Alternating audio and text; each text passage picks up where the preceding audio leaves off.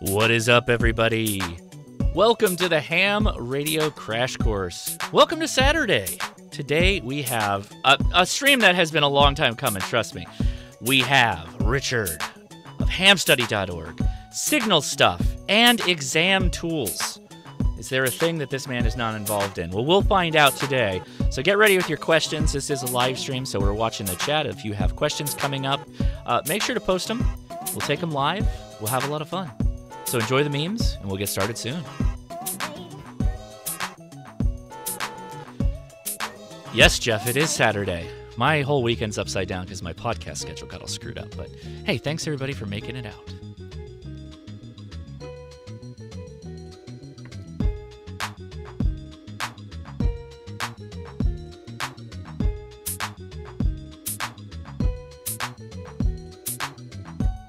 All right.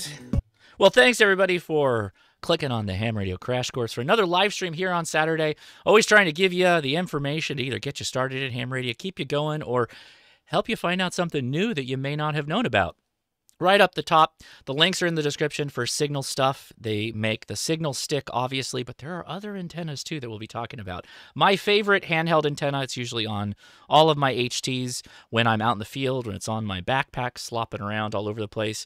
Won't poke your eye out. Well, I guess you could poke your eye out if you tried enough. We'll talk about that later, but generally works really, really great on all HTs. We've tested them. There are videos as far as signal to noise ratio on both 70 centimeters and 2 meters. So don't worry, we'll get to talking to Richard here soon. But a couple of things to mention. Hamtactical.com, the website my wife runs for the merch store. Uh, we're out of the Christmas season finally. Thank you, Leah, for updating. Now, I, I did post uh, a little teaser that we do have via PVC patches, and they will go on that website soon. So I don't have a date that they'll drop yet because that's uh, Leah's domain, and I'm definitely not going to tell her how to do her job. That would be uh, bad for my health. So when it does get posted, I'll let you know. I'll post on the socials and whatnot. I had quite a day, though. We're going to do a, a quick little tangent here. Check this out. Oh yeah, I love that color. That's great. That's awesome.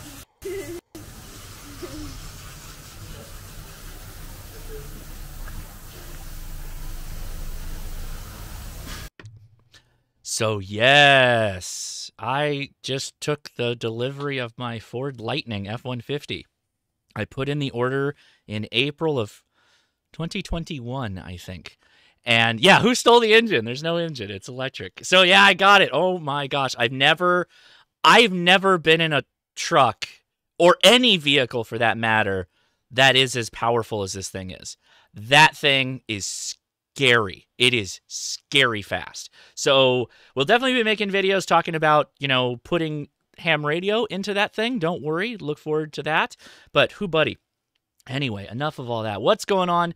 Want a quick reminder here hamstudy.org. If you haven't, it's the place to be for practicing your to get your ham radio license, a free website for testing. And then, of course, Signal stuff, which there's a link in the description. All right, without further ado, Richard, how's it going, man? Are you muted? I forgot to unmute. It's oh, going pretty we well. did it. We did it. Happy to be here. well, so uh, I've been using your antennas for years now, about the time I guess that you started making them. But you're doing so much stuff, and I got a bunch of questions as I normally do. The first thing, and I and I, I think people so one, I don't think people realize that you are hamstudy.org, you are exam tools, which is used for online testing, and you are signal stuff you're all the things. So, what came first, the hamstudy.org or the signal stuff? So,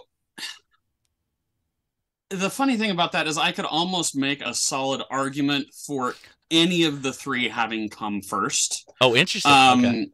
The first time I made uh, an antenna of the design that is now that, that eventually grew into what we call the signal stick was uh, probably like 25 plus years ago. Um, really? So there was actually a, an amateur radio explorer post in Utah County, uh, so youth group mm-hmm. that I joined when I was uh, 16, 17, something like that. Um, uh, the woman who is now my wife was a member. Actually, that's where we first met, uh, long before we started seeing each other or anything. But mm-hmm. I I did actually meet my wife through ham radio. Uh, and she has been licensed longer than I have, KC7KEI. Really? Um, licensed before and you? So, okay. Yeah, well, I, I took all three of my license exams from her father. Ah, uh, so okay. this is kind of a long, yeah, it was a a foredrawn you know, conclusion long- that you would get ham radio license. right? uh, how many years? Um, well, and I mean, ham radio runs in my family. My grandfather was licensed when uh, K7SG Russ Bateman got his license Wow. as. Uh, I think he's had something like 40 call signs because they used to have to change whenever he moved. Right. Anyway, 1948. Oh wow. Uh, and my father got his in, in 1976. Um, so I mean, it's both, yeah, lots and lots of ham radio feeding into it. But at any rate, so the the antennas kind of took a parallel track. Uh, originally, I was I be, eventually became one of the leaders of the youth group, and I had been interested in building the the antennas, the the Explorer Post antennas, as they were called then. Mhm. Um, and so, event at, at one point, I ended up taking over, like locating the parts to build them, finding the stainless steel piano wire, and the uh, the connect the SMA connectors and the BNC connectors. And uh, I mean, we went from soldering them and had a solder part, pot and you know all sorts of different things like that. And just over the years, I found like one new thing, another new thing. You know, I I, uh, I discovered nitinol and and for a while we were using that, and I was paying like five dollars per wire off of Amazon at first wow. um and then just at, at one point and this was probably i don't know 2012 2013 something like that uh we just didn't have enough youth to keep the explorer post going uh it was kind of sad but we ended up shutting it down Mhm. but we had always had this thing where we sold the antennas locally and if they ever broke we'd just replace it you know it was lifetime warranty that was always the thing is Mhm. you know for the explorer post antennas um, because that was how we funded the Explorer Post. And I mean, we'd do these huge builds. You know, we'd get together and we'd make like forty or fifty of them, and uh, you know, and, and so that was just that was this thing that we were doing. And when we shut it down, people kept asking me for the antennas. Like, so, Right. you know, are people still doing the Explorer Post antennas? Can I still buy these? And it's like, well, okay, I'll start selling them. And I talked to the other former leaders of the Explorer Post, and they were all fine with me uh, taking over this. And I said, well, I mean, I, I don't feel good using it just like for my own, you know, commercial purposes, but ham study is this thing I've been working on for a while now. And can I use it to fund things for ham study? And so I took it over for that. And it was, I think, 2016. Uh, there was a ham fest in southern Utah that I went to. And uh, gosh, we sold a lot of antennas there. I think it was like 84, 85, something like that. You know, lots. I mean, it was a big build, Mhm. almost 100 antennas that we made at one time that time. Um, back using our, our Plastidip and uh, popsicle sticks to form the, the, the adhesive around the connectors. And, um, and so while I was talking to people there, there was a bunch of people from like you know southern Utah and further away from Utah County that were asking, well, is there is there an online place where I can order these or anything? I was like, yeah, well, here's a here's a thing, and I'll I'll see if I can post them online somewhere. Mhm. And so I started selling them online, and I set up the uh, the Signal Stuff website um, there in 2006 2016. I was actually initially calling them steady antennas, but I quickly realized that that was a bad plan because ham study needed to remain as a like as a learning resource not as a commercial entity with like that we brand things that we sell especially because that could create uh, conflicts of interests with uh, advertising Sure. and you know things like that you know icom wasn't particularly excited about the idea of of sponsoring a website that was building and selling things for competing products it wasn't a good image it wasn't you know didn't make sense Right. and um, so I have a friend, uh, his name is Michael Stufflebeam, and some of his siblings were over, and they're all hams. And he's he's helped me a lot with both ham study and with uh, signal sticks over the years. Mhm. And we were just brainstorming, like, what are we going to call these? And uh, I, I don't even remember how the name was suggested, but that's where si- Signal Stuff came up. Was, was kind of a play on his last name, Stufflebeam. Ah, okay. And then someone else, says, and and they'll be Signal Sticks Sure. Like oh Yeah. and they're they're they're super elastic signal sticks and and it just i mean things went downhill from there and the name was was created and so I mean it was that that's kind of the story of signal sticks, but it's very parallel to Yeah. the story of exam tools and ham study because like they were I, I I started doing it with the intent of supporting ham study and of course exam tools if Okay. it, if it ever took off Right, right. but uh but it was almost by accident like i i accidentally created a successful business i didn't really mean to I wonder how many- planning on it I wonder how many like sole proprietor small businesses start out almost by accident, where people are like, "You mean I could make money doing this? Yeah, like people will pay me to do this kind of thing." Now, given the date ranges that you just gave me, that predates the mass m- kind of movement of 3D printing.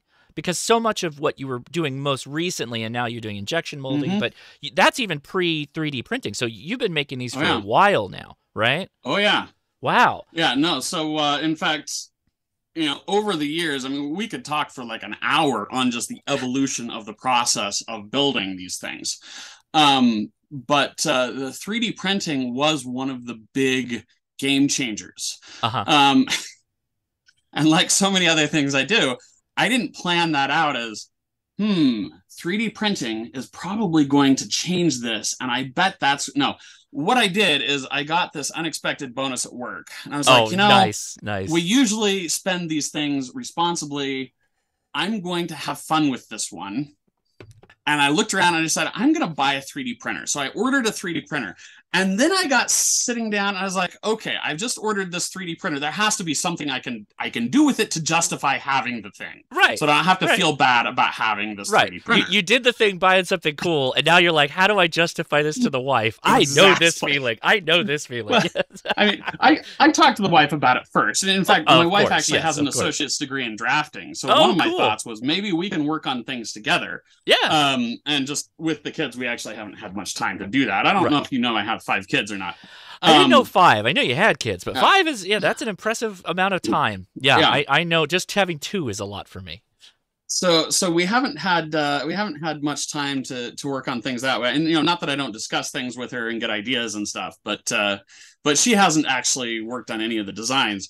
But um, but yeah, so that's that's really how it started with the 3D printing. Is is just I need to I need to do something to justify having this, and Right. and some of the early designs were almost disastrous. In fact, Oh, he's got prototypes. That's awesome. He's going to show us.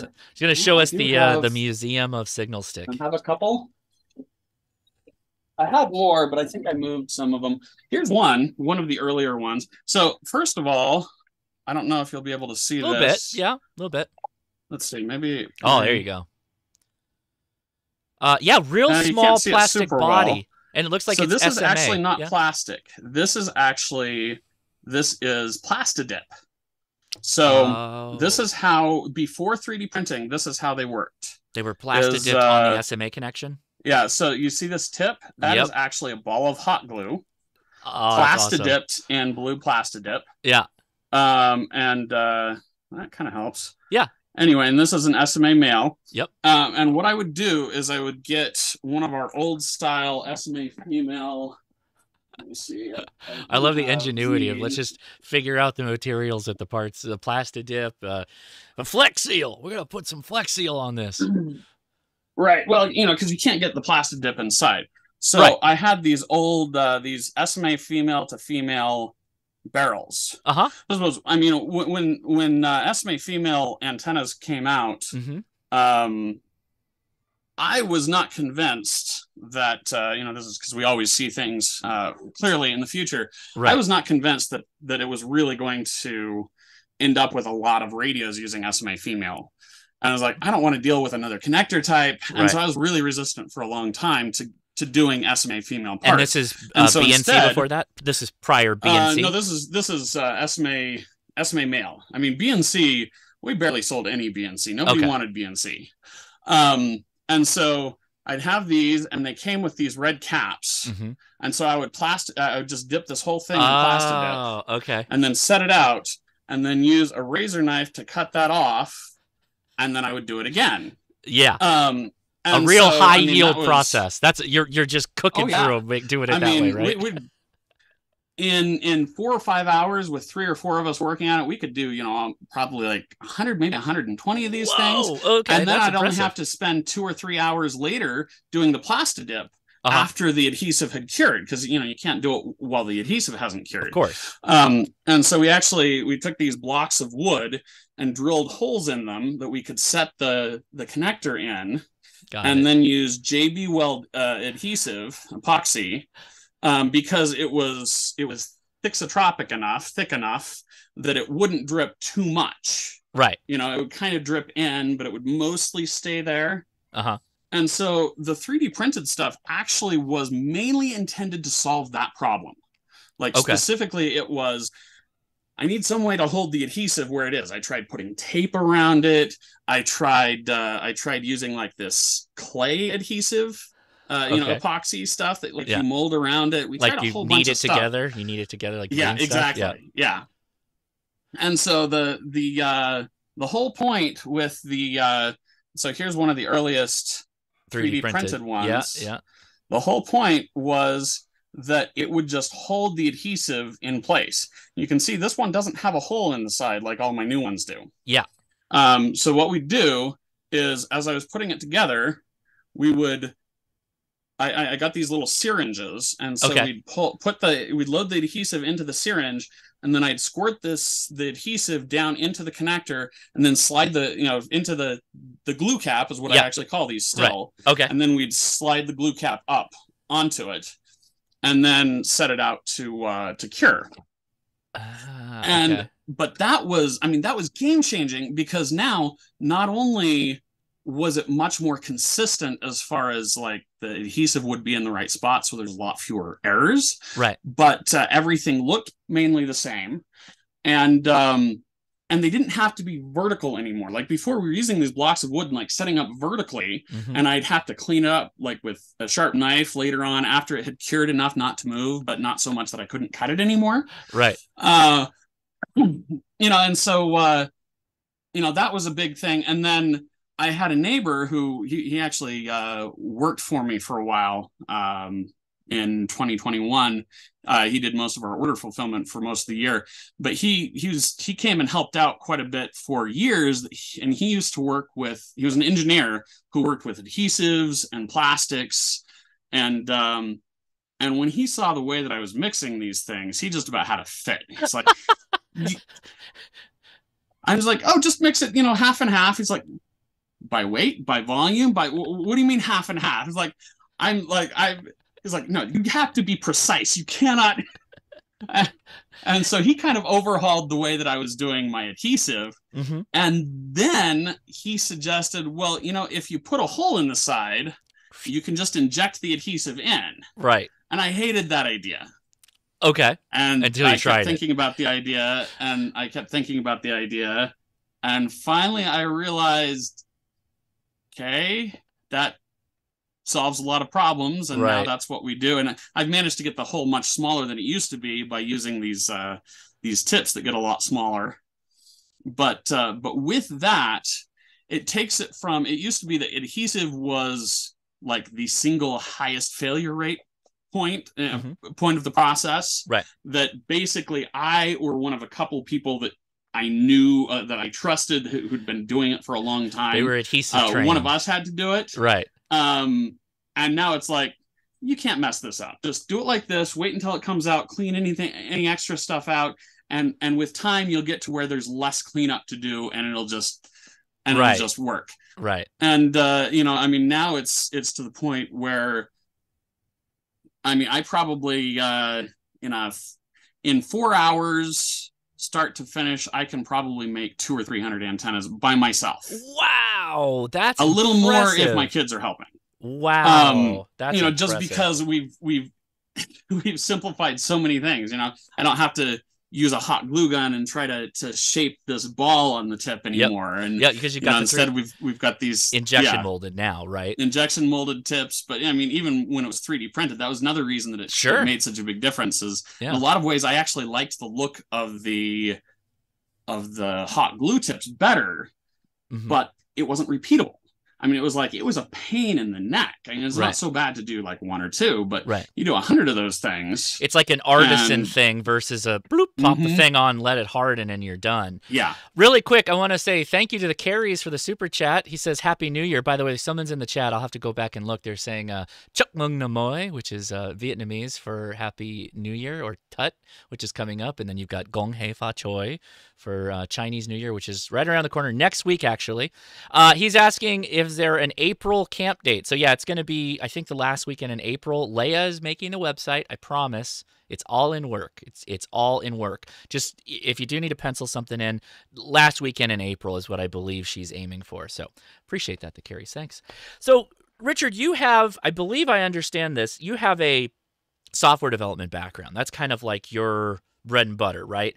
And I think the last 15 minutes or so, you've been talking about like heavy materials and production and all that stuff. So you probably didn't start out like this, right? This is something that kind of evolved over time.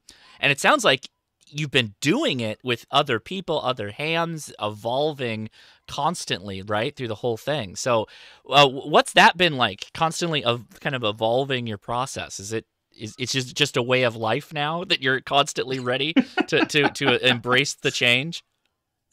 You know, I think there was probably a period of six or seven years where if you bought an antenna like every six months, each antenna would be subtly different. Like because I was just Just constantly constant changing evolution. the uh I mean the the connectors, the the models that we use for the connectors now are I think I've probably completely redid each of those models at least eight or nine times. Mhm, And that's aside from like little incremental changes that I made over time. mhm. Um of you know, we I I'd see a problem that just kept cropping up. Yeah. And so finally I'd say, okay, this is actually a real problem. It's not just a few flukes. We need to change this, and I'd make a change right. and then something else would crop up and then something else you know it's just over time and um once we hit the point where i could actually customize the connectors that was actually a really big deal too you know i used to just use standard coax connectors in fact the the manufacturer was really confused when i wanted to order them without the crimp ferrules and without the I was like, I don't need any of that stuff. I just need the tips and the housings. I don't need the heat shrink. I don't need, you know, um, and they're but, like, "What uh, is this guy doing?" Here, let me give you the full shot. yeah, there, so- here's uh that's the BNC, right? real easy to see, but this is the BNC connector, which I just happened to have one in my pocket. Yeah. I just remembered. Good to have um, on hand. uh, yeah, it's focusing on your. Anyway, fingers. Yeah, Yeah, you can you can kind of see that it's not as long as as most, and it's Yeah. got like this little fat thing at the bottom. Mhm. So the fat thing is to give it so that I can have some little nubs on the plastic. So when it goes down, it'll clip on and stay in place. Mhm. And then uh, there, there's a added little flange kind of on the outside. right? Yeah, there's a little flange on the end. That's a, the adhesive has something to grab onto. nice. And then the most recent change is that there's a flat on each side at the top, which is to keep it from uh, being able to rotate inside the adhesive. Yes, Um, yes. Some people who got a SMA female or SMA male maybe two years ago uh, may have had a problem where the the glue cap would actually spin. Mhm. So you- the plastic would spin and the metal would not. uh, Um, gotcha. Okay.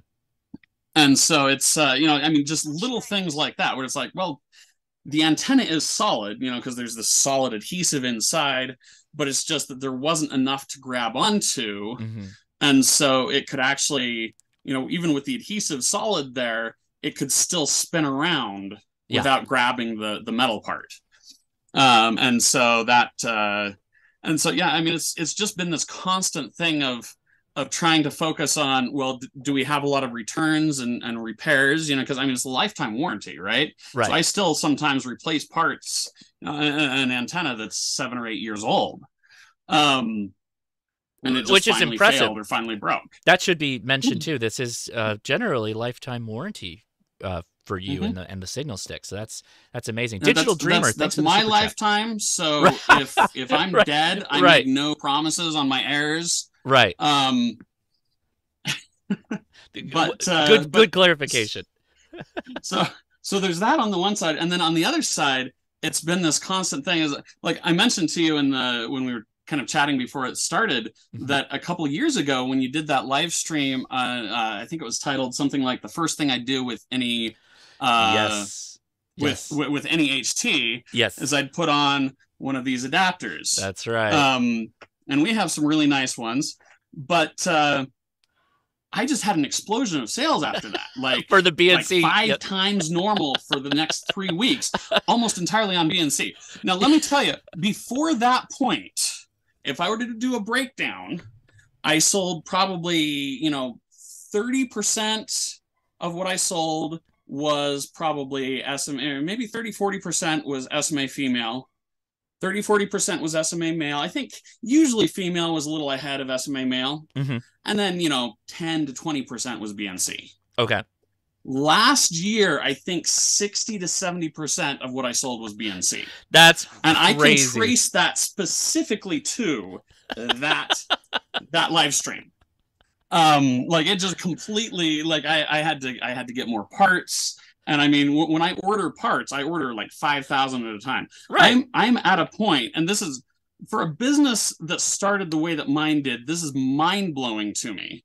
If I need to replace all of my invent, like all of my my manufacturing inventory, all of the nitinol, all all of the connectors, uh, and all of the adhesive, we're probably looking at something like forty to forty five thousand dollars of this is my standard order size. wow. That is I mean, huge because number. b- b- you know, in, in order to get the customizations that I need, in order to have enough on hand, especially once I started doing the colors, which incidentally kind of started from some mostly joking comments in the uh, the VE Discord server a couple years back.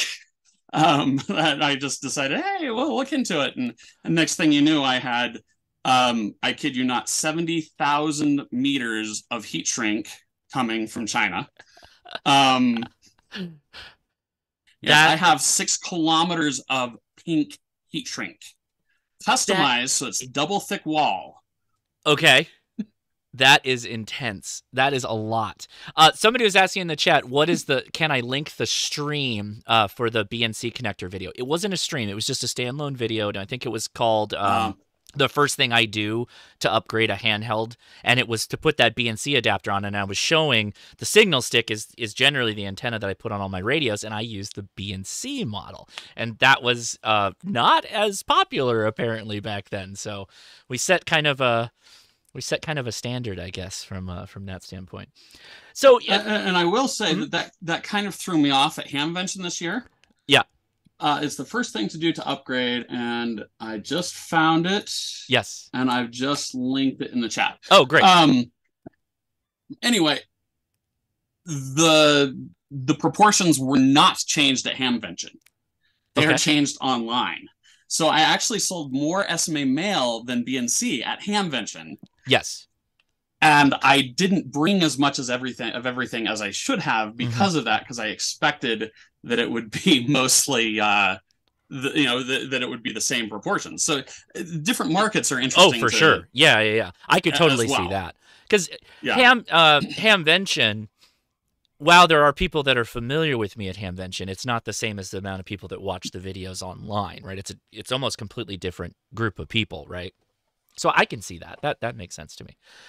Yeah. Um, so talking about the antenna, it sounds like obviously the production of it, the the putting it together and the materials and all that, that's gone through many revisions. But it at the the antenna parts, if you will, how did you design the antenna? How did you design it to be two meters, seventy centimeter, and I think you have other options as well. But what was that process like, and has that gone through revision? Not sure if I should admit this publicly. Uh oh. Um, okay, so there is a design. If in fact, I you know I haven't actually done this search, but I bet if you look up piano wire antenna, oh, you'll okay. probably find it. okay. It's a classic design where you basically just buy a piece of piano wire Mhm. and you stick a center pin on it and you stick Sure. it in a connector. Yep. And that's your antenna. Sure. I mean, that- Congratulations. I've just told you how to make a signal stick.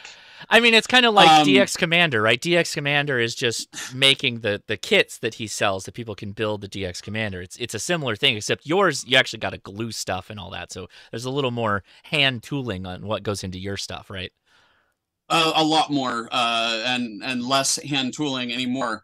Um, in fact, I actually toyed with the idea of making kits at one point, Mhm. except that your the failure rate of kits would just be so high because there's Right. so many ways that you can make mistakes on it. Right. Um, I'd have to send extra center pins, and I'd ha- I mean, it was just it would be it would be kind of ridiculous. I mean, I'm I'm using I'm using 400 milliliter cartridges of adhesive, and uh, do I have it around here? Oh, I have a, a pneumatic dispenser that I thought I had sitting next to here that um that I'm working on building into like a stand based one. I have one. Uh, I have two stand based ones. Mhm. One that has been given to my manufacturer, and uh, and I'm working on building a second spare just because we had some uh, some parts break on my main one last week, and I thought you know I need a I, I need a backup just in case. Mhm. Um, but I mean, there's just so many parts that uh, that if you were to try to do it the way that I do these, just one at a time, it is incredibly inefficient.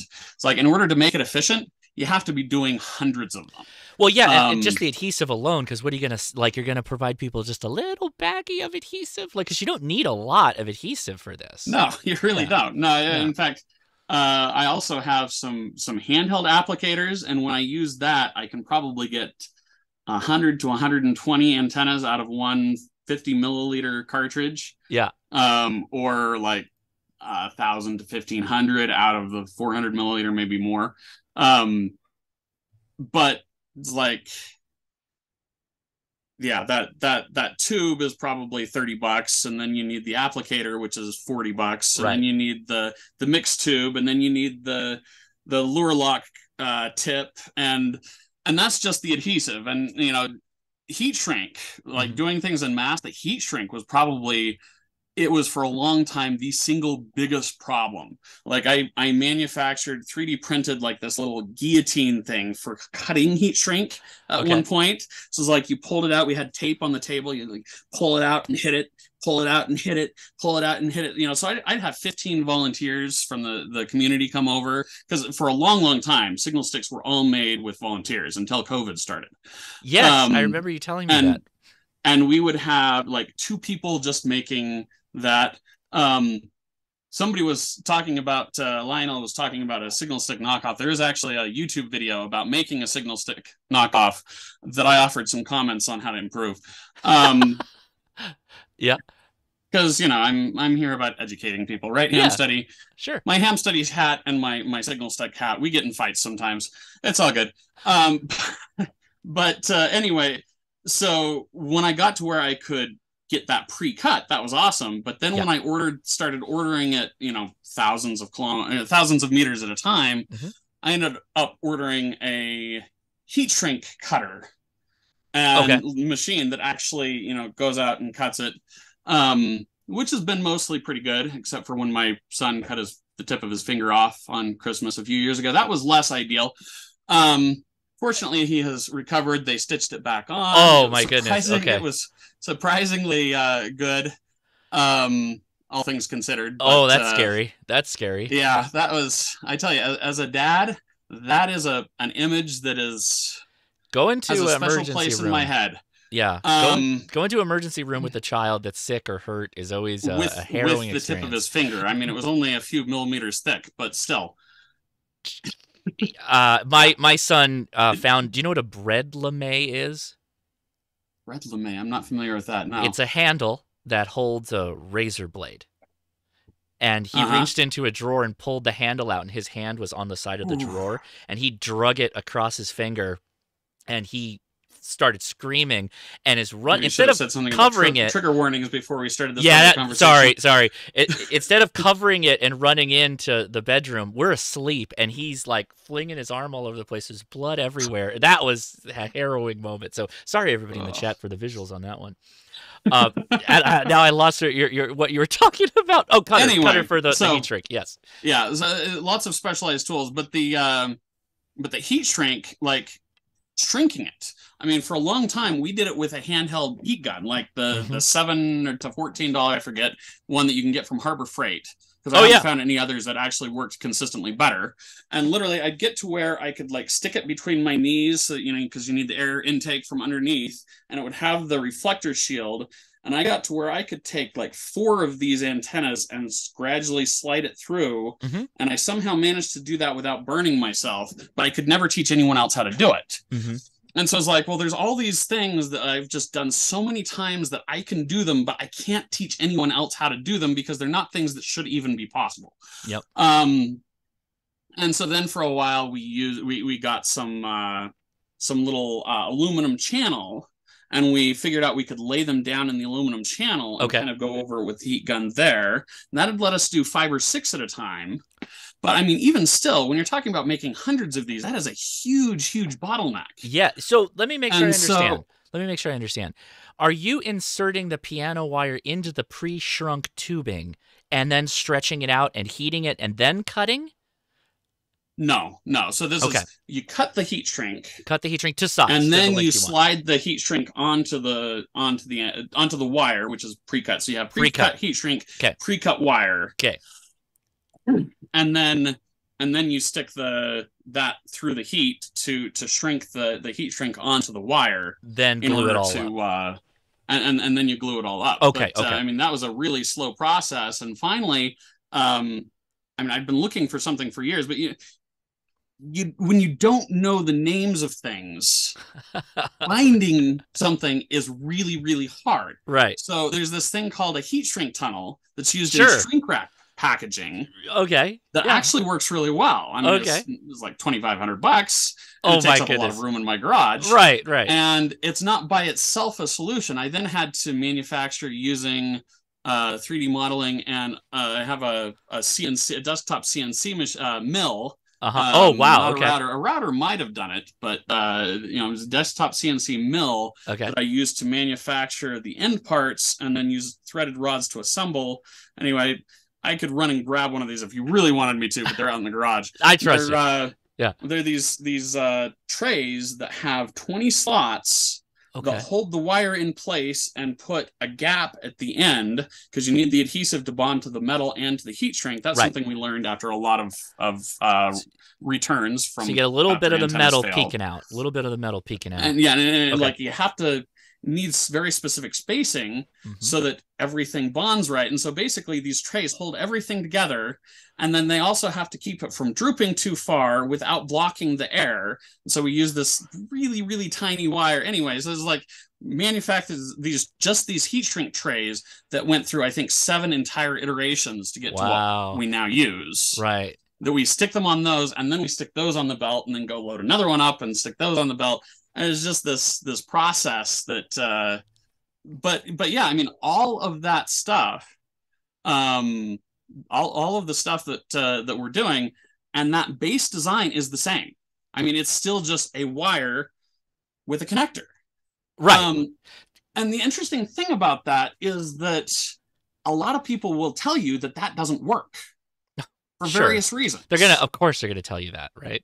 uh, because you know because it doesn't have enough uh, impedance matching because it doesn't have enough and uh, and so you know I- I started out knowing how to make the antenna but Yes. not understanding the theory of why it worked Oh, like literally when I fa- first made these I didn't have I, I I knew I mean I was a technician but I was 16 I mean I Right. was like I'd grown up hearing about some radio stuff my my father's a transmitter engineer for K well he was he's retired now last year uh for KBYU for like 40 years right. um but uh and you know, plus is a ham and all that but so i'm learning the theory and when you first learn the theory on these and you think oh okay i'm going to stick this on an swr meter and find out what's going on and so i did and i have this antenna Yes. that i know is is good that i Yes. know works and i put it on my swr meter which tells me it's crap So Like- this, I, I was definitely getting into this. I want to ask one question before we get into this because this we could we're probably going to Yeah. spend the rest of the, the, the time talking about this.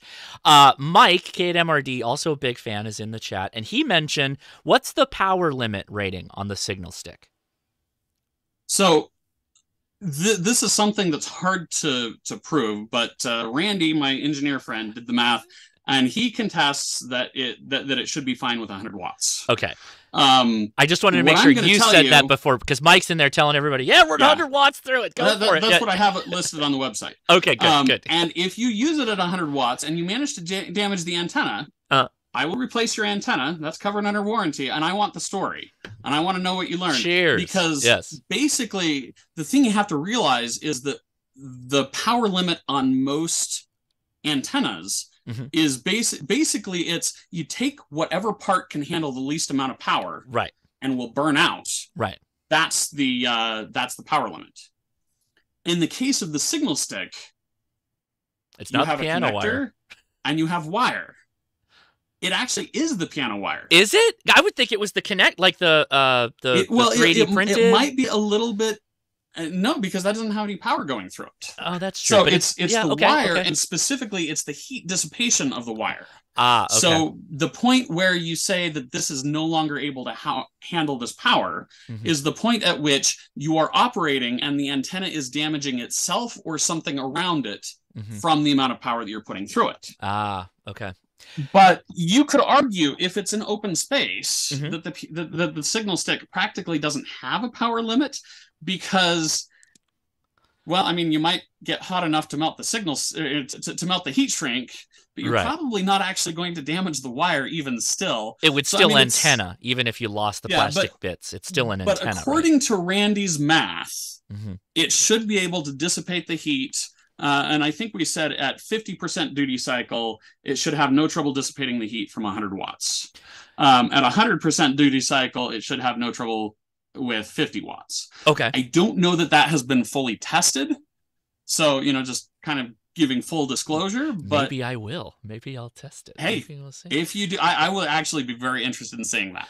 Uh, okay, all right. So I, I want to tell the story because I, I, I love this story, and then you can continue going with where you're at with the right. SWR because it ties in.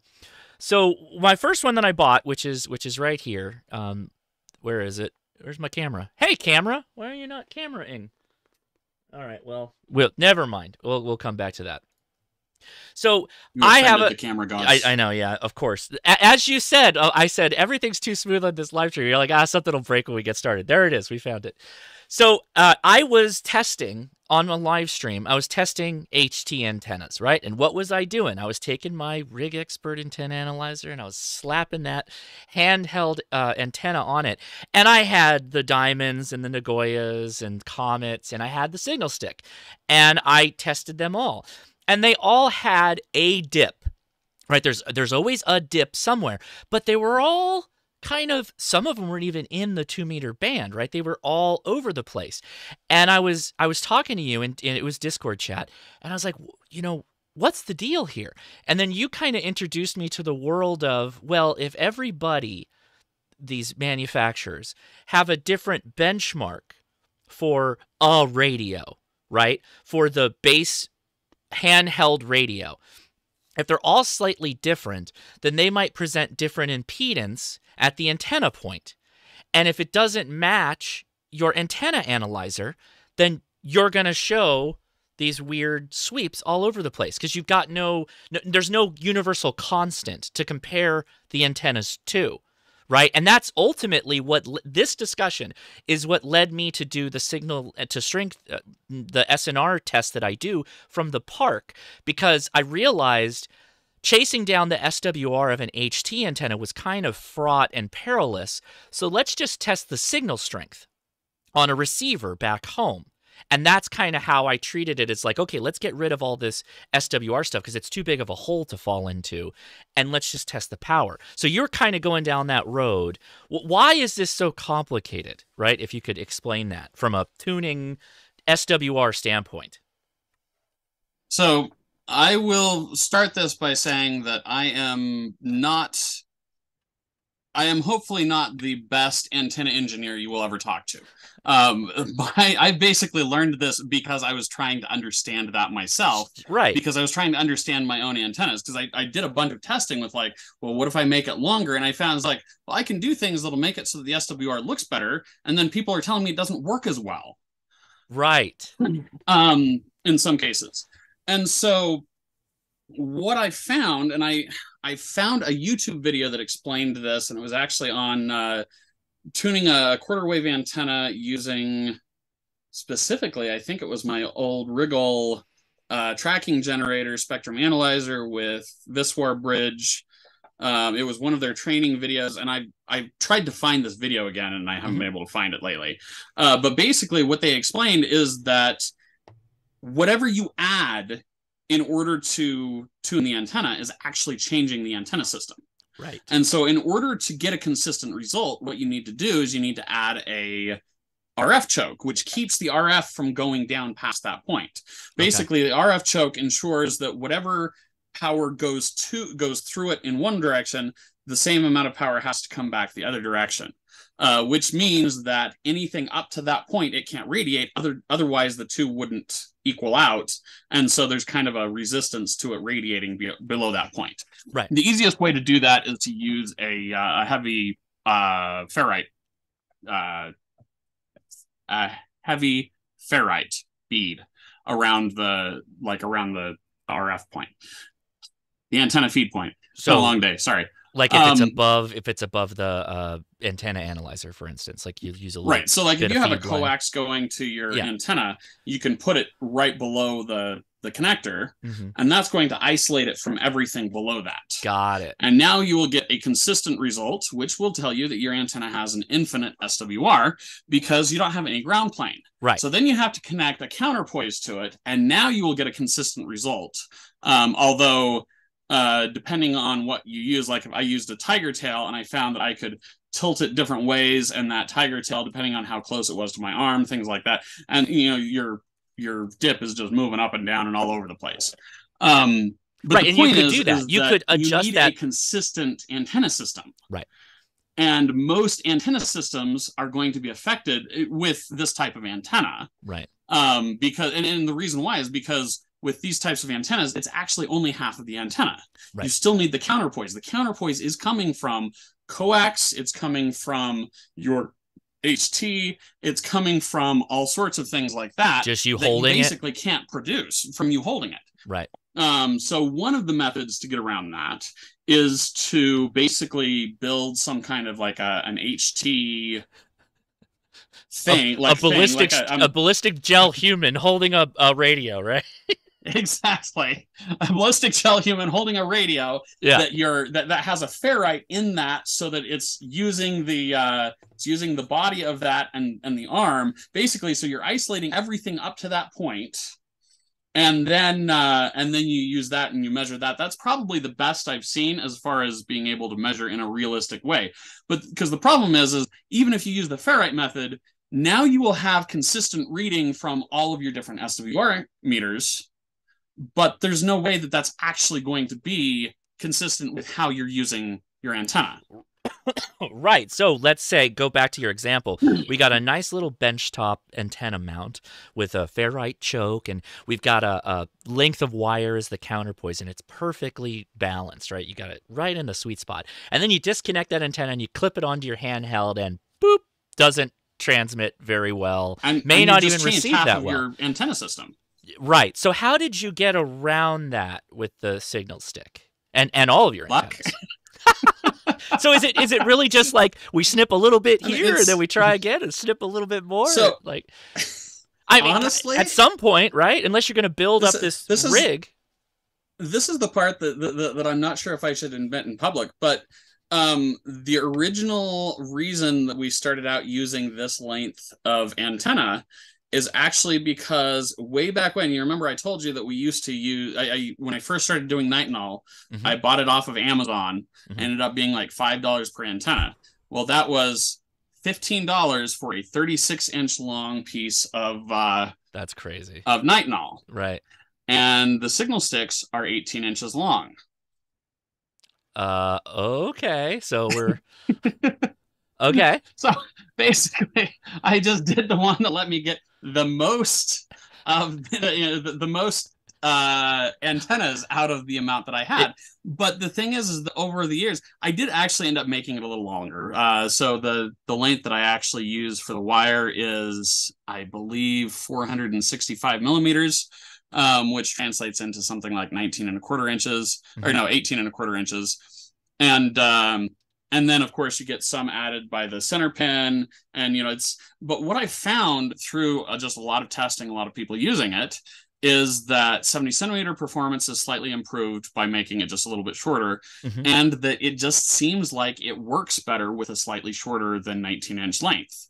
Um, I'm not sure, honestly, why that is.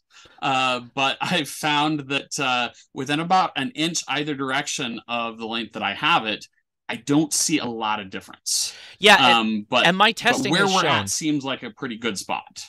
Yeah, my testing has shown that generally it's it's usually pretty balanced on on the received signal strength on 70 centimeters and two meters when when using the signal stick.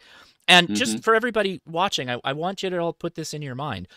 The antenna is the constant. If you buy one of these and you put it on your Kenwood or your Baofeng or your Yaesu or your Icom, they're all going to present slightly different, right? When you're holding it, even how you transmit on the thing, they're all it's a it's a little fudge factor that goes into HTs specifically because again they're kind of just meant to go with us everywhere and use them. It's not like we're gonna go do a POTA and we're gonna put up a perfectly balanced dipole for a particular frequency, right?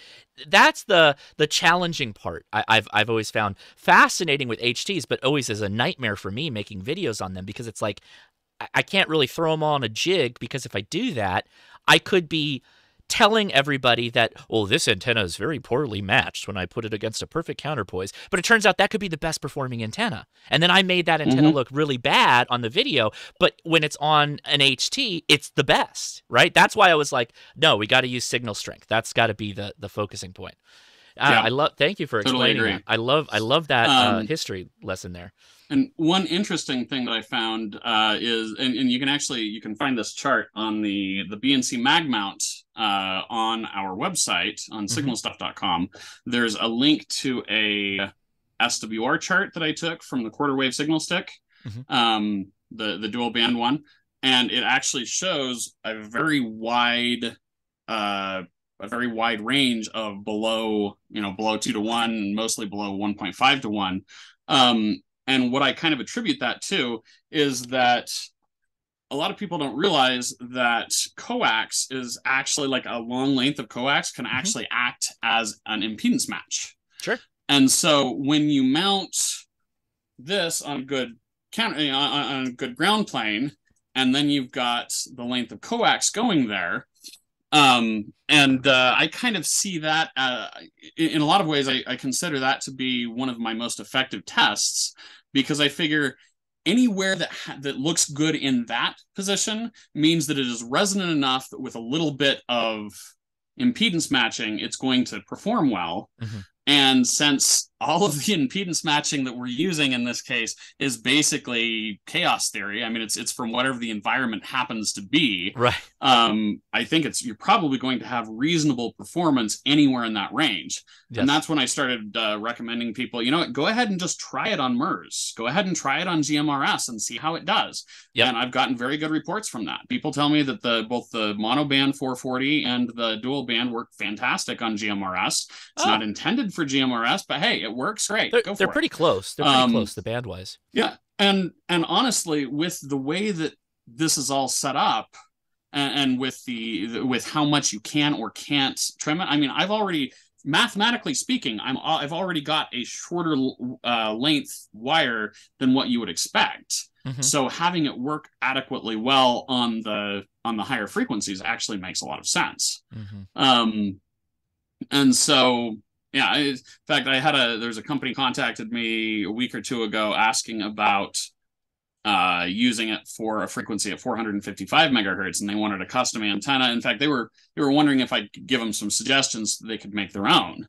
And they wanted a half wave and they wanted uh you know which is interesting because most people think that if you just double the length you now you, you have a half wave it's going to work great problem is now you've got two quarter wave sections that are 90 degrees out of phase they're going to cancel each other out and you've got a dummy load um, in fact, you don't quite have a dummy load because a dummy load would at least absorb the the power instead of reflecting all of it back. So you have nothing. Um, that's the reason that I don't make a. Uh, that's the reason I don't have a tri-band antenna, and it's the reason that I don't make a half wave uh, 440 is Uh-huh. because you would need some kind of impedance matching to make that work. And I'm not a good enough antenna engineer to build that. Um, if somebody knows someone who knows how to do that, that would like to uh, to be employed for a time as a consultant to help Oh, me there you go. design a a tri band, and a, I mean, I would love to add those to my lineup. But uh, the only designs that I've been able to to discover or find or come up with are things that I don't have the capacity to build Ah. and so it's uh so I've and so I don't have that. I've had uh, I I have a couple of monoband two meter half wave antennas, and they're they're by and large like one of the best performers I've I've dealt with. So Mhm. now I'm now I'm curious what's going on there because kind of what you're saying Got a makes coil sense. in the base. Either that or it's got a coil halfway up. No, If it's got, a a coil well. halfway up. That's I have actually going to both. perform better. I have both coil in the base and then uh, a center loaded uh, vertical in Mhm. the HT variety. So yeah, now you've got me thinking about that. I think that's a really good point. Yeah.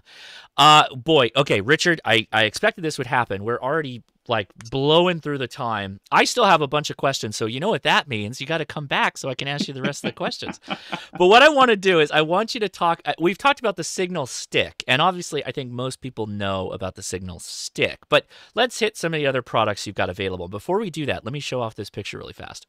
What's happening here? What would you say is going on right here with this picture? There is so many antennas in this shot. What is what is this? Is this like ready after production right here? This is what it looks like. Uh, so each that that tray there is a custom 3D printed tray that I built. That's cool. Um, that we use those during manufacturing. I've printed and it's got it's it's held together with two threaded rods through each side Mhm. uh, to provide the support, and then they are stackable. Oh, that's cool. and they uh, they have those little notches that hold the antenna. I see that. They're little ridges. Yeah. Yeah, yeah, yeah. Okay. Previously, what we did is uh, whenever I did a, a build party, I would order pizza for everyone, and then Yes, we would use the pizza me this. boxes and line up all of the antennas on the top of the pizza boxes, which ended up just being the perfect length. That's true Well- ham ingenuity right there. At some point, we got talking about how. You know, we really need something better than pizza boxes, especially because uh, sometimes we we were getting to where we were making enough that we were running out of pizza boxes. And so I built these and they serve a couple of purposes. So here what you've got is we've just finished injecting the adhesive Uh-huh. and this is these are the curing racks basically. How, so how many are we looking at? there for about so uh, if you use the very edges, which it looks like in this one we did, there are 41 per direction, and then they go both They're directions. cross. So They're they're- cross latched. Yeah. Yeah, they're they're uh, one is one level is one direction is slightly lower level than the other direction, um, and then they're stackable as well, and they have handles that stick out on one on on uh, two sides, opposite sides, so I can actually pick them up and move them as well, and that's, That's the cool. other big thing that this did, which is a bigger deal than you might think. I, I see Lego in the background. Is that Lego? It looks kind of like Lego. It's not Lego. oh, it's the those ridges. just the- it's okay. Those are the ridges. Okay, so walk, walk Um, me through the the products here. So you've got obviously the the signal stick, the super elastic, and those Mhm. come. Oh, look at the animations. Yeah, the BNC variety, the the, the HRC supported BNC variety. But you have all the connector types, right? Yeah. So we've got uh, we've got SMA, we've got BNC, SMA male, SMA female. Mhm. Um, we've got twelve different colors. Uh, glow in the dark uh, is one of them. I, I we have, as far as I know, the only fully glow in the dark antenna on the market, um, which Nice. is which which means It's it actually kinda cool. Yeah. It, it has visibility. increased emissions on the visible spectrum during uh, times of low illumination. Um, So you So could be in the glows in dark and transmit, and it'll light up. no, no, Oh, it okay. just it just it just emits in the visible spectrum Oh. in the dark. Okay, I got it. I got it. The joke went All right, right over my head. If you have to explain it, uh, that was my bad. Uh, really quick, what is Uh, your most popular color for the antenna? Uh, you know, it's interesting because it depends on the connector. Uh, black is the most popular. 'Kay. And then glow in the dark is going to be the the second, the, the most popular non-black. 'Kay. And then on BNC, orange is the next after that. Um, and then it kind of varies by connector. Red is usually up there. Green is up there. Um, So the unofficial. I would also love to have it glow when RF is flowing, and I would be have some cool. thoughts on how to do that, but it is beyond my engineering expertise. So the unofficial different HRCC colorway is the black BNC connector with the black uh, cu- uh, cup at the bottom, orange heat shrink, and the black tip, or glow in the dark. That's the BNC. That's the recipe. That's the one you want. the, uh, So this one, That's it. Yeah, That- that's it. that back there, by the way, that is the Signal Stuff uh, shipping station. Nice. because everything has to be alliterative. It's it's one of our rules, company rules. Um, so literally, when we ship, that is all of my stock back there on those on those trays. oh, that's cool. like that is where we do it. Um, but yeah, so that's the one that he's talking about. Um, And then if you- these these are sometimes tricky to keep in stock, but the uh, the orange. so the glow in the dark is the most popular non-black, but uh, orange is is pretty high up there as well. Um, and in case anybody missed this, in the end of November, in fact, this is the reason that our Black Friday sale was a week late. Uh, all of the parts, uh, there's no longer 3D printed parts. It's now all injection molded. Uh, I finally had design that stayed static long enough without me changing it that I felt like I could uh, immortalize it by spending six grand per part to make molds out of it. Yeah. Uh, and then we have the uh, the adapters. So this is the SMA male to BNC adapter, Mhm. and uh, the SMA female to BNC adapter is around here somewhere, but I must have dropped it. I had it earlier. so Anyway, the oh, signal yeah, there it is. stick, signal stick is the HT antenna, and then you Mhm. have the signal. I, I guess you, the signal stock is the mobile antenna. So you do have a proper mobile antenna to go along with that, right? Yeah. So this is the this is the quarter wave signal stock. Let me hold that My up, camera, of course, won't. Yeah. won't and that's an on it. NMO mount with Um, a with a set screw setting, right? Yep. NMO mount, set screw, and this is uh, just a quarter quarter wave long antenna. And uh, the reason these work for dual band is because a quarter wave on two meters is mathematically a three quarter wave on 70 centimeters, which makes it work work out nicely. Um, so that's nice. Um, you could probably cut these down to a 70 centimeter or a 220 and I do know somebody who's done that, and he he says it works well, but it's not something that I sell enough of them to be worthwhile. We also have a half wave uh, version. Um, I'm not as thrilled with how that one's working. Most people, it seems to work really well for them, but I'm getting more reports of, from people saying that it didn't work for them than I like. So I'm still uh, Let let's only uh one left in stock. I let's sell an fix that. antenna because that's gonna be gone Um, right now. there you go. There's only one mobile antenna left. It's gone, Fix Richard. it It's before gone. it's gone. It's Um, gone. uh, but anyway, um, then we also have uh, this is one that doesn't get a lot of press, and it probably should get more. This is if you're familiar with the Arrow off-center uh, open Yeah. stub J pole design. Mhm. This is an open stub J pole, and these things. Uh, so this is actually made by a, a local ham who's um, who's also a machinist, and these are solid. I mean, you know, most of them are, are just like aluminum pipe Tubes, and they're yeah. kind of flimsy Mhm. tubes. This is solid, and uh, and then it's got threads on the ones, you know, thread opening on one side, and so basically these attach together, Oh, that's and cool. uh, you know, so when it's all put together, it's something like sixty inches tall on on the one side. And you get to be a- like James Bond. Solid design. you get to be like James but Bond. You can have a little attaché case. Look at that. That's super cool. I mean, so normally you're probably not going to normally take the base all the way apart. This is how it ships, Right. Which is great because you know it's it's nice and easy to to Yeah, send. yeah, right? yeah. A lot cheaper to send. But uh, normally you wouldn't take these the middle parts out, so that takes the most space. But um, but that is just it's a great. It's 2.2 pounds, and uh, so if you just need an antenna, uh, dual band antenna, you can. That's portable. You can see that one's real portable. So That- we've got those, and then our newest product, uh, as far as like uh, full product, is the um, the BNC mag mount. And yes, I thought about calling it like the signal stand or something, but The uh, signal stand. Oh, there it is. Sa- Sanity Sanity did uh, did did win out on that one, and I've so that's a BNC that- mag, a BNC mag mount. Okay, that's cool. Yeah. That's a good idea. No, that's a in really good idea. that's the, the the great thing about this is because you know say you've got your uh you know so you've got your HT here that's got your BNC adapter on it you've got your antenna on and then you want to get in your car so you Right. you just pop it off of there Right. and you stick it on the BNC mag mount, and then the BNC mag mount plugs right back in there, and off you go. See? Um, and then if you're concerned about the some of these, the the base isn't quite as insulated as people like, and Yeah, so we got sheath, uh, yeah. this is a very recent little sheath that you can buy as a as an add-on. It's just this thin rubber goes right onto it. See, now you're you're singing the praises of the BNC signal stick, right? You you, you see Well, how you know, I- I have versatile it, admit, I've- versatile it is? I was kind of iffy about it myself. Yeah. but this is probably one of the best uh, Yeah. ex- uh, excuses for it. And in fact, uh, so this is a product that's brand new, as in I don't even have it on the website yet. This Uh-oh. is actually an right, we're gonna give you the SMA male to uh, I don't know how well you can see it. This is an Kinda, SMA sorta. male. Part of it is you've got the ups, the the BNC. blurry background going on, so it, it's Yeah. making it a little hard for it. That's okay. SMA male to BNC uh, adapter. Now, Okay. maybe you've seen, let's see, you may have seen some commercial versions of this.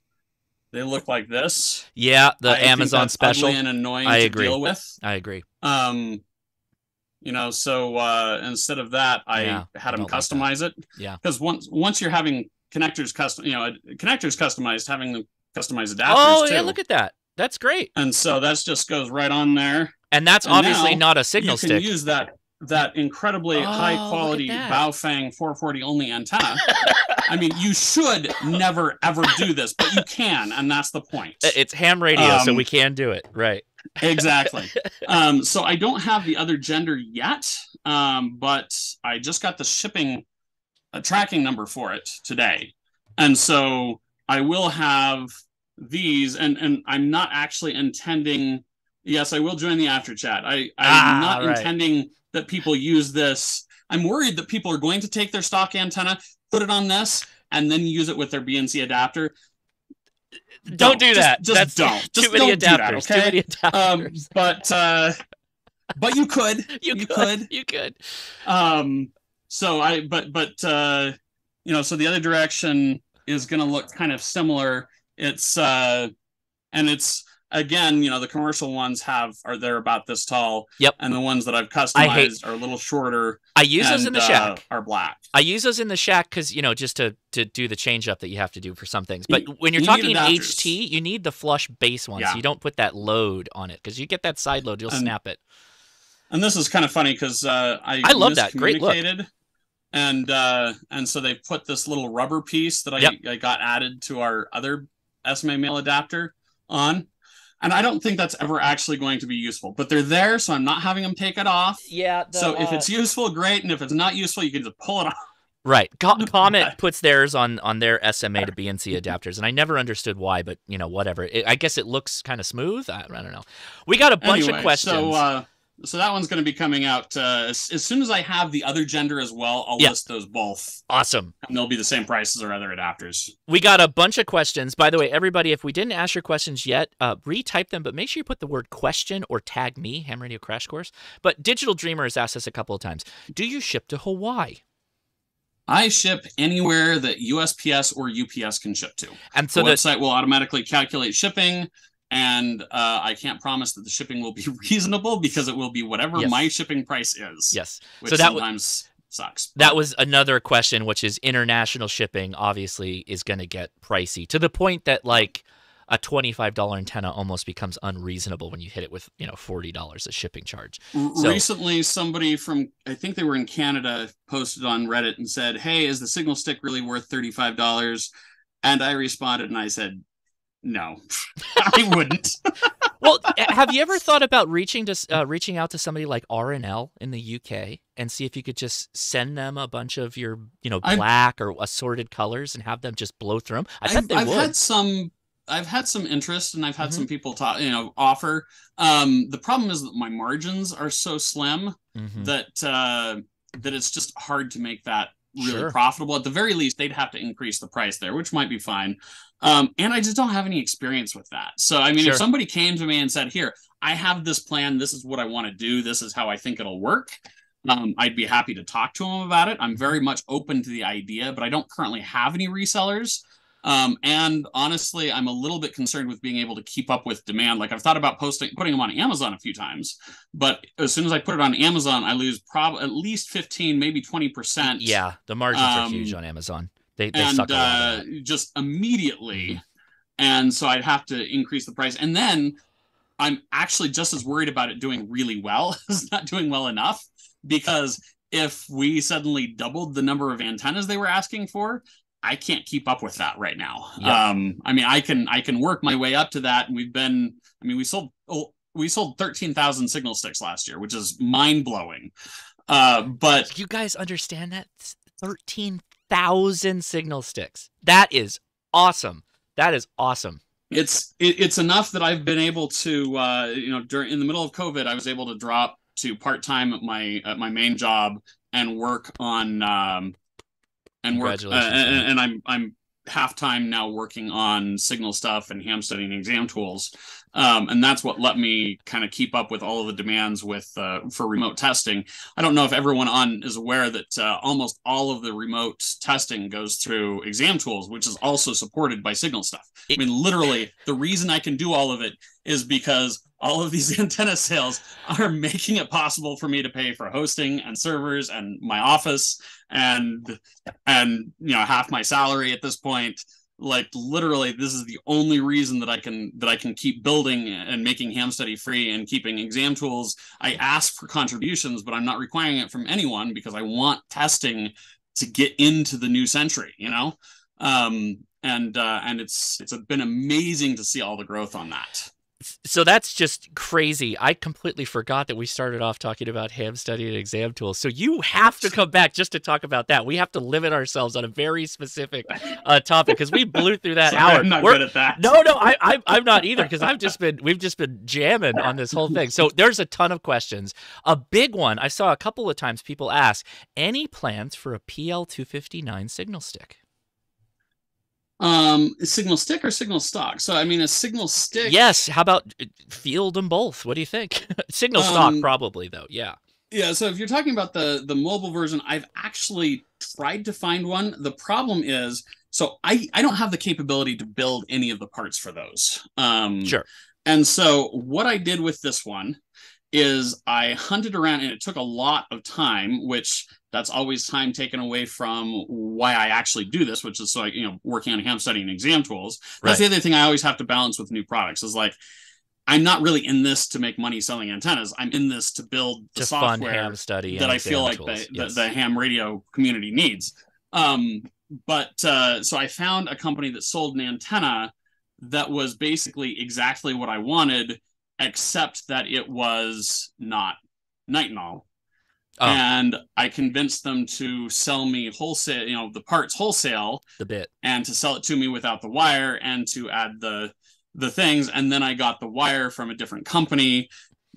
And uh, and so basically, I order the different parts and I put them together, and you know, and we, and we got this little tip thing here, uh, which is just a vinyl cap that I got off, literally that I buy off of eBay. Uh, and uh, I love the ingenuity. And that's and that's how the signal st- the signal stock came from because people kept asking for that because they wanted something, especially for like off roading. And that's really what the signal yes. stock was intended for. Is yes. so you have something that can hit a tree and generally yep. be okay. I mean, yep. it's not invincible, but it's right. going to hold up a lot better than stainless steel would. Lifetime warranty um, though so, on the signal stock. No, unfortunately. Oh, okay. Um, okay. But I'll if if it breaks, contact me. I'll see what I can do to, to at least well, there you find go. a discounted way to, to replace the parts or something. Uh, that happens a few times, and and and I'll I'll do what I can. Sure. Uh, I at least guarantee that the parts are not going to be defective, or I'll I'll replace things. Right. Um. But anyway, from all of that, that same company had some PL two fifty nine ones and I was just not happy with the performance on it. The Q, like the, the notch was really, really, really narrow, oh. and I had a hard time getting it in the spot where I wanted. And so I I did try. I I ordered several different times, uh, several different parts to try to make that happen. And I even was looking at uh, one possibility for a tri-band, but frankly, none of them were good enough. Like some of them would have worked, but none of them were good enough that I would have been willing to use it on my vehicle. And so I'm not going to sell it. Okay. So Question. maybe someday. Well, there you go. Appreciate you walking us through that. Will Richard be at Hamcation this year? I will not. I I might someday, but uh, when you have five kids and you I- live on in Utah, you have to really be careful about committing to going to things on the East Coast um, that take multiple days away from the family. Yep. Especially because I mean, just Hamvention. I've been to Hamvention now, I think four or five times, Mhm. and if I can manage to break away long enough to have conversations with like heads of VECs and vendors that I like networking opportunities that are half the reason that I go there. Yeah. That's impressive. Like I spend my entire time just talking to people. And I never break I, I've never been to a single panel because I don't have time. And that's with that's with three other people with me at least. We took six one year and thinking that then we can trade off. We Yep. still didn't. We all stayed at the booth and talked to people the whole time. I can I attest just- this. It's too expensive. I can attest this because it has been two hamventions now that I have, you know, cruised around the booth a couple of times to shoot a quick video with you, and you've always been slammed with people talking to you constantly, or you were looked exhausted trying to eat food, trying, trying to survive. that was the other time. I get it. I get it completely. You, just have to break in and we'll we'll figure it out. I love it, man. I love. Well, we could just do it live like we're But, doing right uh, now. Uh, yeah, I mean, honestly, at Hamvention, my goal with sales, I mean, I take signal sticks. My goal with Ham Hamvention is to try to break even. I don't ever Yeah. make money on that. yeah. I try to cover the cost because it's, I mean, it's if you're dragging to six people out there, after you're taking, you know, all the airfare and hotels and everything. So at Hamcation, I'm, I'm, I probably, I'm not certain, I'm not confident that I could break even. I could see that. And it's just one more thing at a hard time of the year. yeah, So I get it. I may at some point. I'd like to, but I don't currently have plans to do so. I get it. I understand. So this is a question, and, th- and and this is a variation of a couple of questions that people have brought up. Have you ever thought about making like a quarter wave ten meter or quarter wave six meter antenna? I've thought about it. The problem is, is that even uh, and I, I wish I'd gone out and grabbed. It's a lot of material at that point. Now you're really Well, it's it's a lot of material and it's getting really expensive. Yeah. Um, I mean, my margins are ludicrously low for a for a manufacturer. For uh, I mean, generally people will expect like at least five to ten times to to make it consistently supportable. Mhm. And just the wire on this, just the wire, costs something like seven dollars. wow. Um, and so, and then you know, if That's not anything ever goes wrong with it, and I'm Right. replacing it, and I mean, it's so it it does get expensive really fast. But the other thing is that it just doesn't hold itself up all that well at longer lengths. So It starts you getting know, a this little is the a little sad at the end. Yeah, yeah. Yeah. Th- this is the old the the thinner wire that we used to use before uh, I think 2018 That's I've got and one of those. it's already it's already pretty flimsy. If you were to make it, because a quarter wave is going to be about that long, and it's not even going to stay up. It's Mhm. not even going to be vertical. Even I, I even with three millimeter, which is what the the base of the half wave stock is, it still doesn't stay up. Yep. And the resistivity of nitinol is so high that I'm concerned that if you make it that long, it's it may not perform very well anymore. oh, sure. and yeah, so that's a whole nother yeah, kind of with all of that, Then you start looking it's, at bigger it's gauges. not something I'm completely unwilling to consider. It's Mhm. just and Have you add thought all about- of that to what I've said before about the my main goal is not actually to sell antennas. My Right. main goal is to build software. Have you ever thought about doubling the gauge? Just increasing the gauge of the wire? Yeah. Uh, well, I mean, th- so the this quarter wave, this is two and a half millimeter, and around here somewhere I've got some two uh two millimeter. Um, and we did it. I mean, we we used 1.5. We started with 1.1 millimeter. Now we're up to 1.5 millimeter. Now that I'm customizing things, we could increase it more. Uh, but I feel like the point we are at now is a good. It's it's rigid enough that it doesn't oscillate as badly and Mhm. it holds up pretty well. But you get any any thicker and you can't coil it as tightly, Right. and it'll start holding like remembering shape more quickly. Sure. And so there's some downsides to doing that as well. I- I'm Um, thinking I- for I, like feel mobile. like where we're at is a I- I'm thinking for like uh, mobile. If you do like a yeah. 10 meter, then you're talking more like a mobile, like a signal stock, right? Yeah. And that's going to be Well, I mean, bigger. the the signal stock is already two and a half and three. Okay. And Gotcha. uh, and even that, which is pretty thick, is not thick enough that a uh, that that a two and a half meter long thing is going to hold up to any kind of freeway winds. Yeah, that makes sense. Uh, question: Is the BNC magnetic mount okay in the rain? Probably. Maybe. this is one of those where sure. um, I can I can tell you that like inside this is going to be fine. They've actually got a lot of sealant around the like on the inside around the the connector that it's not going to get any into the coax. Uh-huh. Um, I'm not as confident. So the one the one downside the BNC connector does have over the SMA. SMA connectors, if they're properly built, are waterproof, okay. and BNC is not, as Right. far as I know. Yeah. So Do, you don't do you treat that thing as like a forever mag mount or is it something that you kind of like put on your car and then take off? I, I think that's a perfect travel setup. Like you throw that on a rental I- car and get on with it. I don't. Yeah, I don't recommend ever using a mag mount for uh, as a long term thing. Sure. Um, you're going, you are going to damage your vehicle if you keep a mag mount on long the enough. surface, period. yeah. Like Yeah. there's just there's no there's no getting around that. Uh, you will eventually get dust underneath it, no matter how careful you are. Even if you put some kind of a, well, I have heard some some clever ideas like you could put some kind of a special sticker on underneath it that protects that's specially designed to protect the paint or something. So maybe you could do that, and if you did that, then it could be a, like a forever thing. 'Kay. potentially. Sure. But the main thing that I have intended it for is, uh, you know, I help out with a lot of little races and stuff, like a, a half marathon up the canyon or stuff. Here in Utah, we've got a lot of uh, canyons and mountains where there's no cell phone service up there. Oh, sure. And so one of the ones I help with, a lot of times we'll have somebody shadowing like the race director. And so the BNC mag mount has been great as a, oh, grab this, stick the antenna on, here's an adapter, go.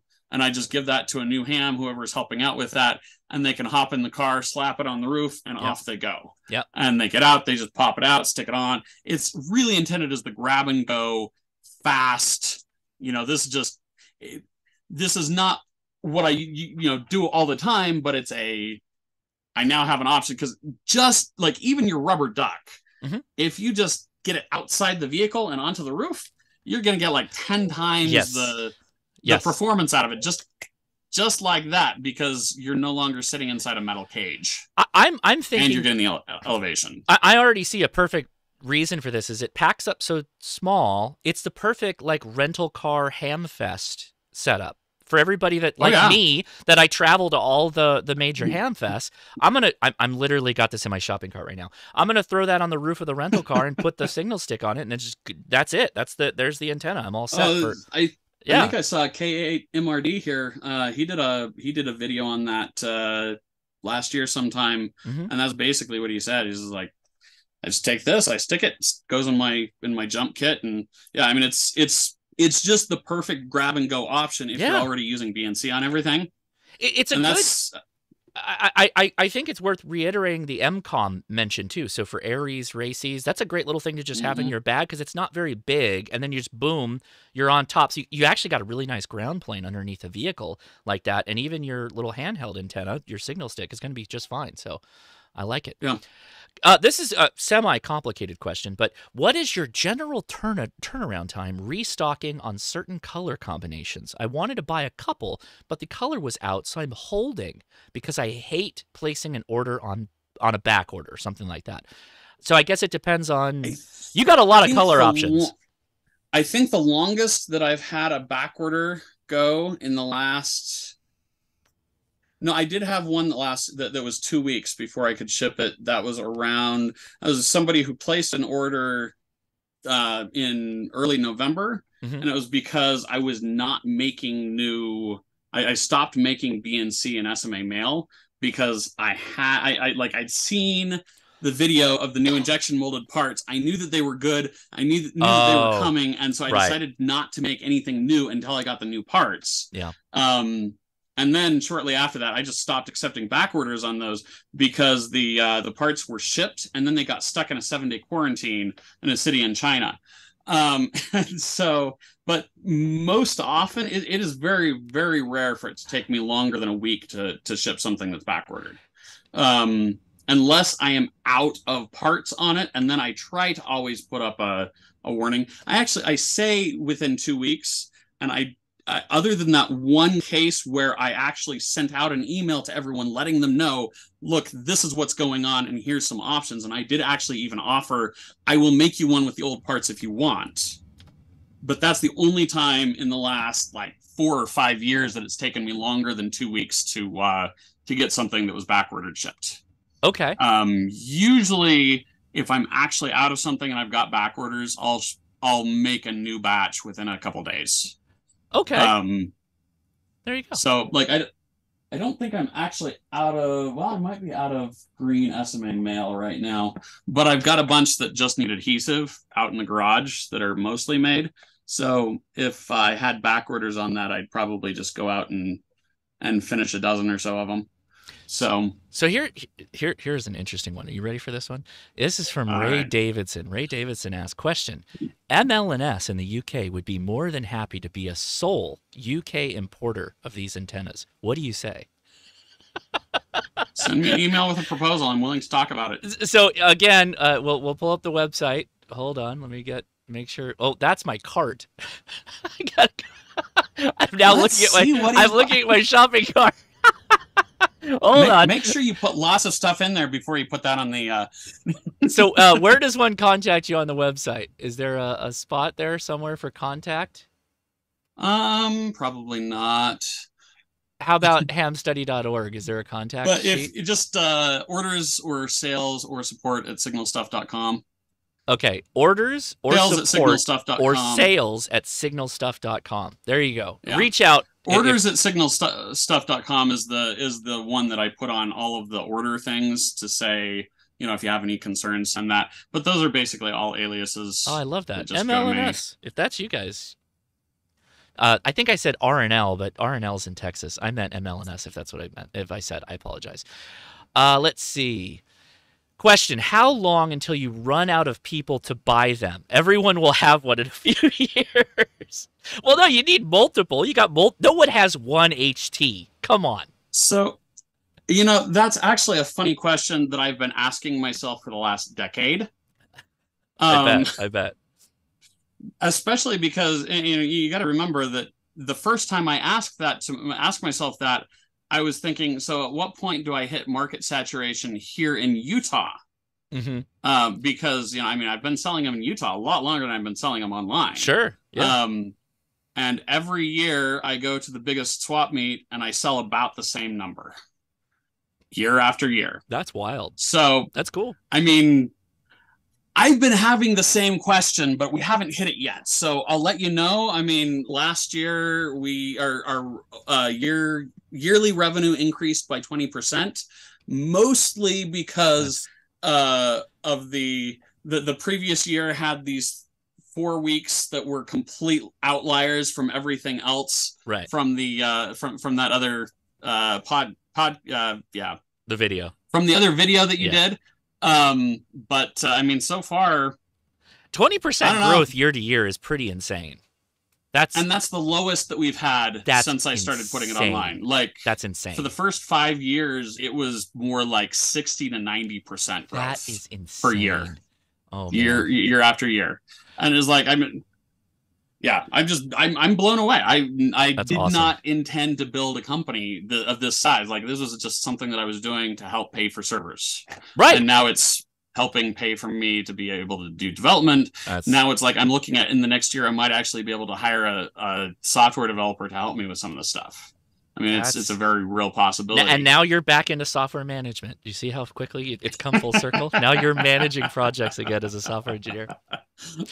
So there's a, a question that came in on Discord. Thanks, uh, Shane64. How flaccid does the one half wave signal stock get? I'm interested, but I don't like uh, to roll a half mass. So yes, uh, in case you don't know, the signal stick, and now we're asking about the signal stock. If it's very cold, and you, you can talk more about this, but if it's very cold, it can get droopy, which oddly enough, I had somebody from Alaska, I think, commented on this video before we even went live. He was like, I'd much rather have the antenna go droopy on me, which then just snaps back when it warms up, versus the antennas I've used in super cold that become brittle and break almost instantly when I bump it against something. Which that, was That the is- comment. That is the weirdest thing about nitinol and in Mhm. fact if you look around on youtube there's some videos about nitinol where in the 80s they were actually looking into the possibility of making engines that operate on this principle where when nitinol gets really cold it transitions into a state where it's more soft and can That's actually in fact it's it's sometimes called shape memory alloy is basically it's the same thing it's just slightly different proportions which changes the temperature ranges That's now, cool. I haven't really publicized this widely, and and I'll probably never admit it in public.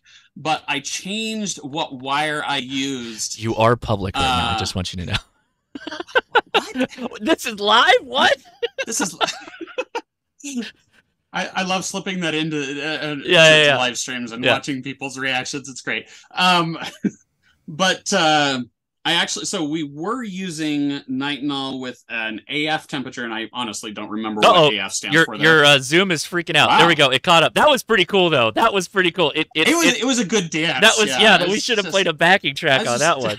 That was impressive. we, we definitely needed some uh, some kind of a beat. yeah, it was a uh, max anyway, headroom move that you just did um, right there. But the so the wire should be good for to colder temperatures, even like all of my wire. And I did some experimenting with a different type of wire, which was uh, not actually um, nitinol. It was a slight variation on nitinol that was good down to minus 20 C. The stuff I'm using Oh. now is good down to minus 10 C. And I think the stuff I was using before was good to positive 10 C. So, and that's before it starts transitioning. Right. So uh, the the low temp half wave is also the minus 10 C. Okay. And the signal sticks, all of the new ones at this point, um, I'm pretty sure I've gotten rid of all of my stock that was made with the old wire at this point. That's why I didn't make a big deal about it, is because I still had some that was the other. So I just Sure. figured, well, if it happens to be better than you're expecting, you'll probably be okay with that. That's my Mhm. usually my usual philosophy when I change things. Hmm. Um, but uh, if it gets cold enough, it will still get droopy, and I have seen them basically lay over like in half. But uh, it has to be pretty cold, probably like minus around minus 20 to minus 25 C before it gets Yeah. to that point with the low temp version.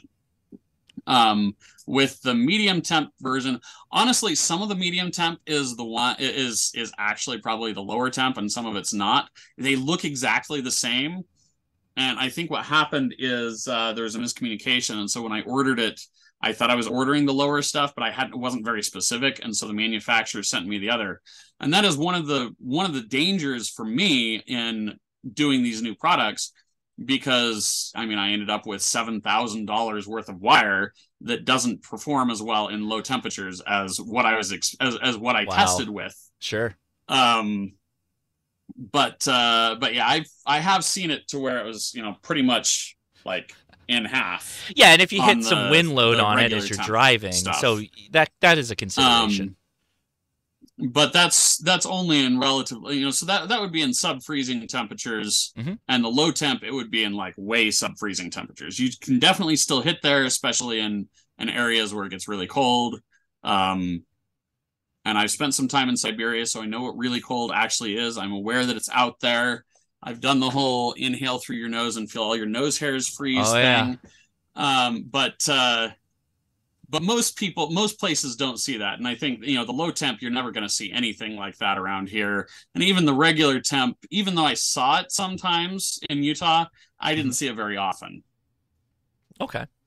Uh, we got a ton of questions, but we're already 30 minutes over. So I encourage everybody to join us on the after chat because then you can just ask your questions live, either text or on voice. Because Richard's going to join us and it's going to be a voice chat. But there's there's two more that I want to ask, and, and I, I think these are good. Uh, question Do you have a Hall of Fame for warranty claims? What's the craziest thing someone did to a signal stick that you had a warranty claim on? You know i really should keep a hall of flame a hall of fame um i had one where a, a horse bit it in half Okay, good. that's pretty good. Yeah. um Don't now, mess that with horses, of the old man. Don't mess with horses. ones. I don't know if I don't know if a horse would be able to bite the nitinol in half. Uh, I don't know if you've ever, if any of you have tried cutting nitinol, but uh, somewhere I have a picture of some heavy duty lineman's pliers Mhm. that one of the handles sheared, like just broke off uh, from when I was testing when I was originally testing the uh, signal sticks and trimming Really? that two and a half and the three millimeter stuff. Mhm. It is that hard. Like It it, is- just Is that because of the heat transfer? Mm. Once you start applying the, the pressure to it on those cutting edges, it actually heats up and then it becomes more rigid, or Um, is it a hardness no, factor? it's it's it's the hardness factor. It's Is just it? it? It, required that much force to uh to do it. I mean, it's it's hard enough that when it finally breaks, like I Mm-hmm. have to be careful what wire cutters I'm using. I will hurt my hand from the sudden force of it letting go and and smashing in. Like it hurts. Wow. Uh, I've had to learn how to how to be careful with that. Um, but anyway, I, I've also seen a lot of cases. Uh, there was one somebody, and this is actually this is not a warranty claim. Somebody actually lost their HT antenna Mhm. in a field, looked all over the place, couldn't find it. A year later, at a kid's activity, was in the same field, looked down and found it, stuck it on their HT, and it still worked. That's Um, pretty cool. That's a cool story. That's and uh, cool. and I got a picture the other week of one that survived a forest fire. Wow. Like I'm sure it wasn't in the in the main heat of the fire. Sure. like as a picture of the HT, and the HT is like swollen and exploded, and there's like heat damage all over up and down it, and the antenna is mostly just fine. wow. That's pretty impressive. Uh, And last, like, I'll recommend this to all my firefighter friends. I was like, okay, that's cool. cool that. last question. Uh, do you get to sleep? Uh, asked Rich, uh, Chris Ritchie. Sleep. Um, Five kids, guys. Five kids. That's I impressive. think I remember something called I sleep from back before remember my, my children were born. Yeah. My my youngest child uh, is um, she'll be three in February. Oh, what's your old? How old's your I- oldest? My oldest is the one who does most of the packing, and he's thirteen. Oh, that's a that's, Um, a, but- that's a good range we got going on. Yeah, um, and uh, and I've, I've got three boys and two girls. The, the girls are the younger. Um, but my youngest child, Jenna, is she's absolutely adorable, and she has not slept consistently through the night more than two nights in a row her entire life so far. oh wow. Yeah, that's fun. I've So definitely remember that. Yeah. So sleep is kind of uh is one of those things. I, I hear you, man. I get it. Well, I, I, I, I only hear part of it, I guess, because I don't have five children. I have two boys, and they they're enough. I, I don't know that I would do with let alone th- three, let alone five. So, Richard, it has been fantastic having you on the show. I appreciate you taking the time, and uh, thank you again uh, in advance for joining us on the after chat. For everybody, we're gonna go to the Discord. I will be live streaming the after chat. It will be a separate live stream on top of this one where we're going to try and focus our questions in the beginning for Richard and all the things you want to ask. But it's a general ham radio question after chat, trying to get you all accustomed with ham radio, get you comfortable with getting on the air and all that stuff. So, Richard, thanks again. I appreciate you, man. Anything you want to mention before Thanks we wrap up? me. Anything you want to mention before we wrap up? Just thank you. I mean, HRCC has been for years now one of the uh, strongest supporters of all of my products, and I really do appreciate it. Um, there are basically when I have product ideas or or cool stuff that I've been working on, there are two places that I talk about it these days. Um, one of them is the HRCC Discord, and the other one is the uh, Volunteer Examiner Discord. And and honestly, that's more than anything else because I basically run that Discord, and so I pay more attention to it. Sure. So it's uh, always a pleasure. Always a pleasure. I, I thank oh, actually, you again. know, I I did just remember one more thing I wanted here to we go. mention. Here we go. um, all right. You still have the Zoom chat up. I do. Oh, here we go, guys. We're getting some. You want to post that coupon code somewhere? Oh, coupon code. That is yeah, good. buddy. I, I did not tell Josh I was doing this. And I, I yeah. All right. Um, that is good for five percent off any signal stick, any number of signal sticks. Now I have no idea what that's going to do uh overall like with the bulk discounts. I didn't even test. I i don't know. It is it's wordpress woocommerce. It's annoying. But hey you know it's a coupon code. Um and it's good until i think i said it good through the end of tomorrow night. So the end, end of day tomorrow. Awesome. So 5% is- off if and- you use the coupon code. and, and also that uh, that is linked to the ham radio crash course affiliate link so anything you put that on is going to get the uh, the affiliate credit to uh, HRCC. Oh, as thank you. Appreciate that. So there you go, guys. I, I sent it a couple of times. So uh, you said 5% off? Yeah. That's a sweet I think that's deal. what I did. That's a sweet deal. well, that's awesome. Thank you for uh, for doing that. Okay, cool. Well, see everybody that stuck around. People have already started dipping out of here. See, if you if you leave early, you won't get the uh, the the hot deals. I like that. All right, uh, Richard, we're gonna go to the after chat. I will meet you over there. All Feel right. free to get. By the way, everybody, uh, I, it usually takes me 10, 15 minutes or so to flip everything around. So uh, Richard's heading over there right now. If you guys want to ask questions, End of day go ahead, get Monday. End of The day coupon is Monday. good through the end of day Monday. Excellent. All right, everybody. Richard, thanks again. I'm going to wrap things up over here. So, guys, thank you so much. That was a whole lot of fun. Uh, I I knew that this would be a blast because just just the, the the fun times I get to chat with Richard. There's always some like I know that there's like all kinds of stuff we could talk about. This was just one example. We still got to talk about HamStudy. We still got to talk about ExamTools. So he'll be back again.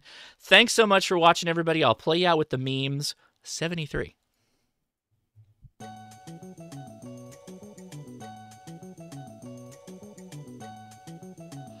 Give me a thumbs up if you hadn't already and you're still out there. Thanks so much. See ya.